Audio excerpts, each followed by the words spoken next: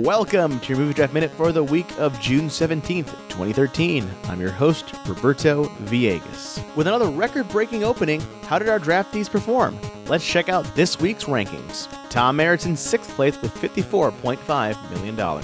Cargill's in fifth place with This Is the End, bringing in $33 million this week, bringing his total to $141 million. Sarah Lane's in fourth place with $251.7 million. Scott Johnson's in third place with $260.3 million. Justin Robert Young leaps into second place with Man of Steel, bringing in a record breaking $128.6 million this week, bringing his total to $444.1 million.